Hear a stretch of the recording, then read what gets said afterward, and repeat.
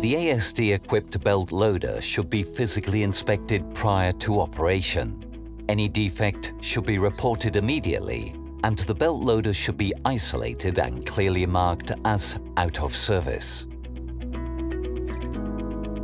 When entering the belt loader, ensure the gear lever is in the neutral position. To commence driving, the operator must apply the seatbelt prior to starting the engine.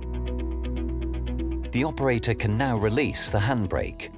Select the forward or reverse direction using the gear lever and gently push the accelerator pedal. Proceed to the green zone.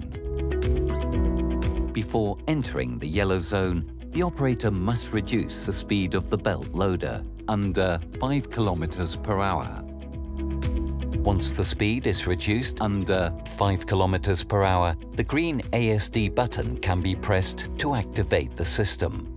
The green overhead beacon will start to flash, and the green ASD light on the dashboard will also illuminate constantly.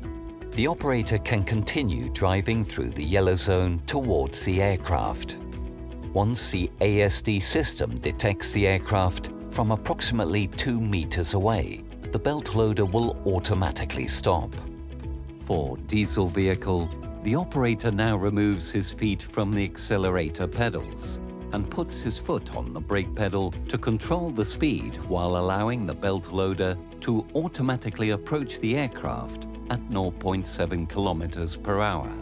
In case of an electric belt loader, the operator has to keep pressing the accelerator pedal in order to make the unit approaching the aircraft at 0.7 kilometers per hour. When the belt loader boom is close to the aircraft, the operator should gently press the brake pedal to bring the belt loader to a halt before touching the fuselage and move the gear lever into the neutral position. Apply the handbrake but do not switch the engine off. When the belt loader is secured, the baggage can be loaded or unloaded from the aircraft. Once the baggage operation is completed, the operator should check again that the gear lever is in neutral position. The handbrake can be released and the operator can engage reverse gear to move away from the aircraft at slow speed. Once the belt loader leaves the orange area, the operator should switch off the ASD system by pressing the green button. The green beacon will stop flashing and the belt loader can be driven out of the aircraft's vicinity.